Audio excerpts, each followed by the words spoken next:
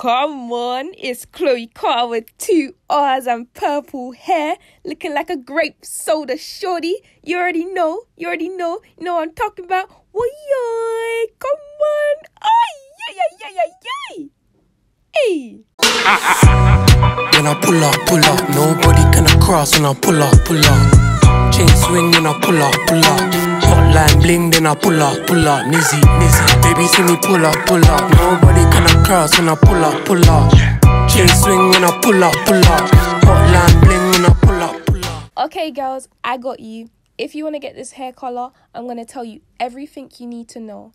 First off, I got this wig off AliExpress. This was my first time ever buying a wig that was already made. It's 20 inches. One thing that I proper liked about it is that it's really thick.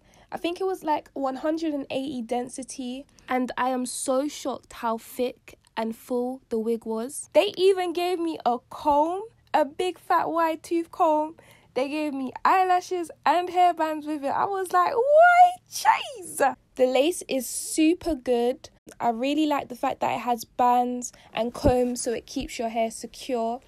So let's get into dyeing. Okay, we're going to be using violet gem and purple rage in Adore hair dye. So I'm going in with the violet gem and then I'm going in with the purple rage. I want to give you guys a test tester because blonde hair is super expensive. I need to test this and get the right color. And I got my plastic fork because I don't have the right dye hair dyeing equipment. I'm putting in some hot water, but I'm not gonna go overboard like how everyone always puts in like lots and lots of water. When you put in more water, it would mean you would need more bottles of hair dye because you're basically diluting the color. So I'm only gonna put in a little bit of hot water.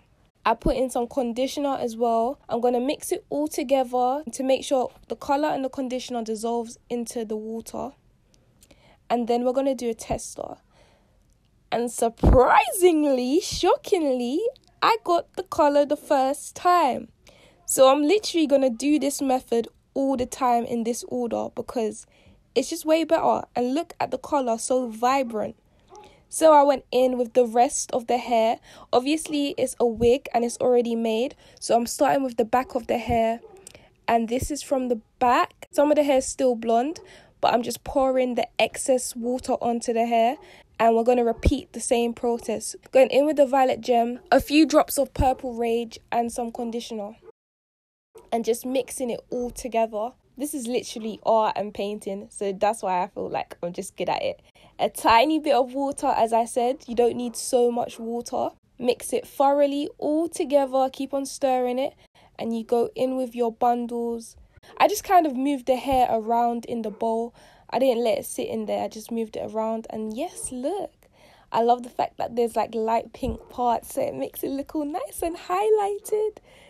I love it. Oh my gosh. Yeah, I'm going with my plastic fork again because I told you guys I don't have the comb.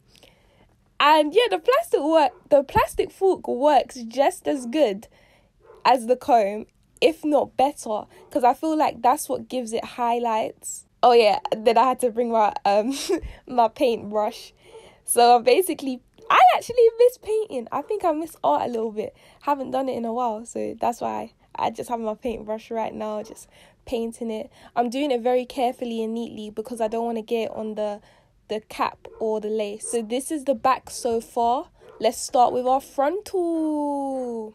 As you guys can see, I painted the top of the frontal first because I really did not want to get any of the hair dye onto the lace. And then I just dipped the rest of the hair inside of the water. And yeah this is the result. I love i'm loving the different colors of purple different shades. As you guys can see i done it super neatly and there's barely any of the color on the lace.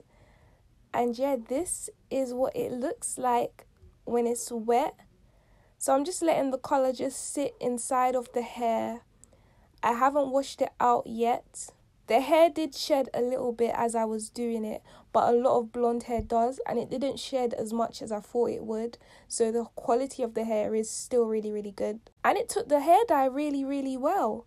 Oh, let me tell you guys a secret.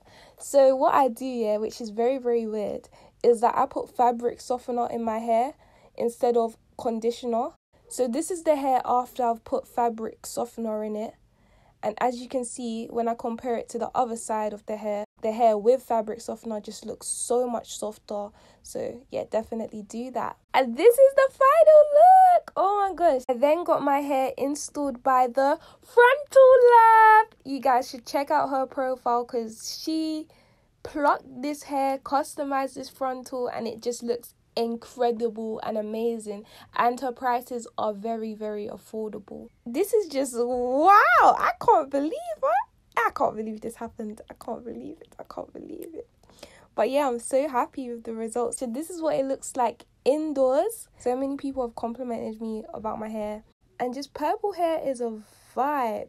It makes me look so cool. I hope this helps you guys so much and I hope you enjoyed watching it. I'll see you guys soon with another video. Bye guys!